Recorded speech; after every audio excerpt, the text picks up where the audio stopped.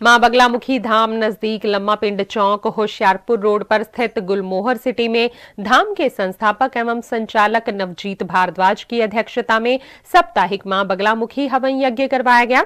सबसे पहले पंडित अविनाश गौतम एवं पंडित पिंटू शर्मा ने नवग्रह पंचोपचार, षोडशोपचार, गौरी गणेश, कुंभ पूजन, माँ बगलामुखी जी के निमित्त माला जाप कर मुख्य यजमानों, मधुकर एवं अभिलक्ष्य चुघ से सपरिवार पूजा अर्चना उपरांत हवन यज्ञ में आहुतियाँ आहुतियाँ डलवाई। इस यज्ञ में उपस्थित माँ भक्तों को आहुतियाँ डलवाने के बाद नवजीत भारद्वाज ने कहा कि साधना सदगुरु के सानिध्य में ही सफल होती है। शास्त्र पढ़ने से ज्ञान, तर्क, वितर्क, लेखन शैली में निपुणता हासिल की जा सकती है, लेकिन जीवन में सुगंध तो सदगुरु से ही प्राप्त होती है। हवन यज्ञ के दौरान सोशल डिस्टेंस एवं सैनिटाइजेशन का खास ध्यान रखा गया।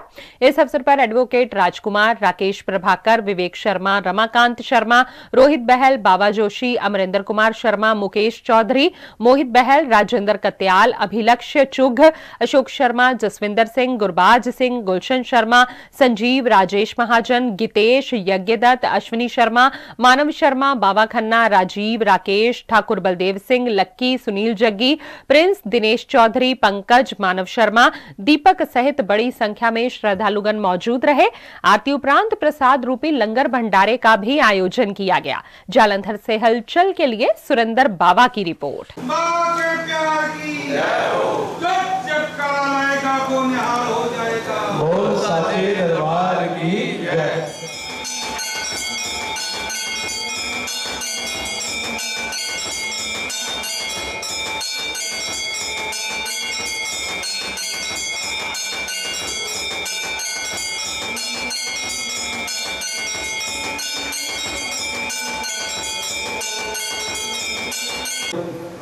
प्रभु की कृपा के नाल बहुत फलदायी है। आज कार्तिक कृष्ण पक्ष की अष्टमी है, जिस दिन अहोई अष्टमी मनाई जाती है।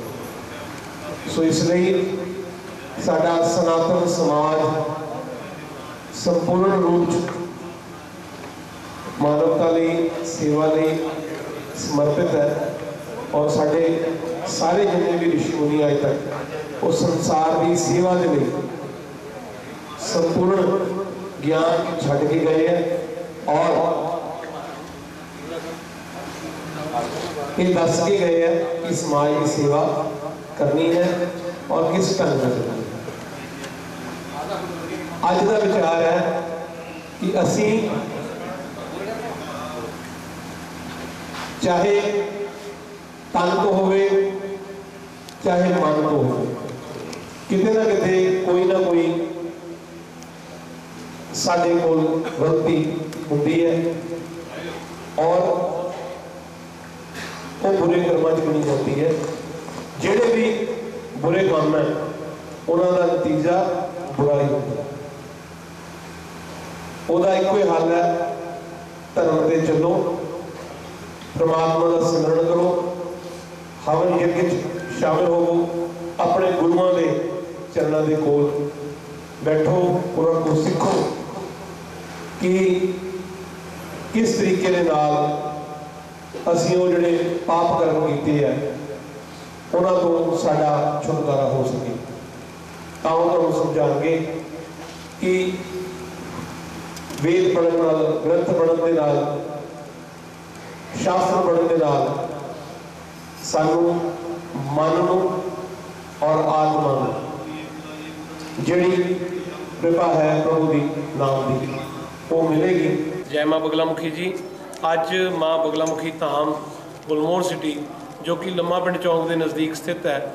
ਮਾਂ ਦੇ ਪਿਤੰਬਰਾ ਦੇ ਇਸ ਭਵਯ ਮੰਦਿਰ ਦੇ ਵਿੱਚ ਅੱਜ ਹਵਨ ਯੱਗ ਜਿਹੜਾ ਸ਼੍ਰਿੰਖਲਾਬੱਧ ਸਪਤਾਹਿਕ ਹੋਇਆ ਹੈ ਔਰ ਵੱਧ ਚੜ ਕੇ ਬੜੀ ਬੜੀ ਦੂਰੋਂ ਆਈ ਸੰਗਤ ਨੇ, ਕੋਈ ਅੰਮ੍ਰਿਤਸਰ ਤੋਂ ਹੈ, ਬਟਾਲੇ ਤੋਂ ਹੈ, ਤਰਨਤਾਰਨ ਹੁਸ਼ਿਆਰਪੁਰ ਤੋਂ, ਬੜੀ ਬੜੀ ਦੂਰ ਤੋਂ ਪੂਰੇ ਪੰਜਾਬ ਤੋਂ ਸੰਗਤ ਨੇ ਆ ਕੇ ਹਵਨ ਯੱਗ ਦੇ ਵਿੱਚ ਅਹੁਤੀਆਂ ਡਾਲੀਆਂ ਔਰ ਮਾਂ ਦੇ ਚਰਨਾਂ ਦੇ ਵਿੱਚ ਅਰਦਾਸ ਬੇਨਤੀ ਕੀਤੀ ਹੈ।